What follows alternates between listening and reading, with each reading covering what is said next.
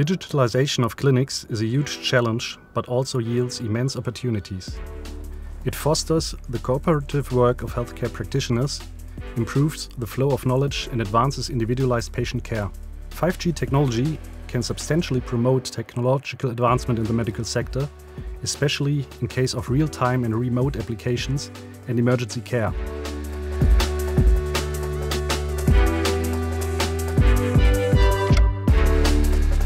I think there's two great technologies which will really support development of new applications for hospitals, which are namely the mobile private network technology and the mobile edge computing technology.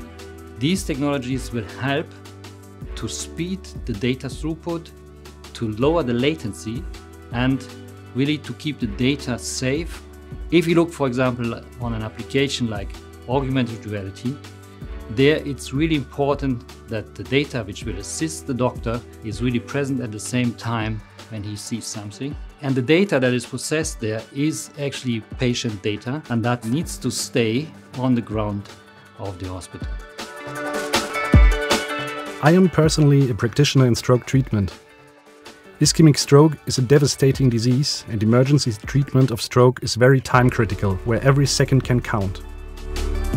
We typically say that time is brain. By using 5G, we can fasten the process in the rescue chain of stroke patients in order to provide earlier access to life-saving treatment and thus enable more patients to have a good functional outcome and independent life.